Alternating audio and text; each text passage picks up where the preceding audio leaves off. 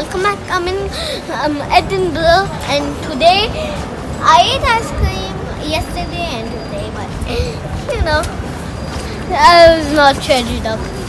So then, so we, uh, I'm going to live with my brother now because I, I was in this hotel with my mom and dad and I watched Alvin and Chipmunks, which is on this TV show.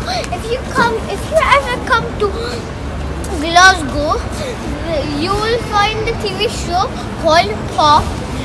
You and it will say Alvin and the Chipmunks. You have to put that TV show. You would like it, and there's also games on the TV.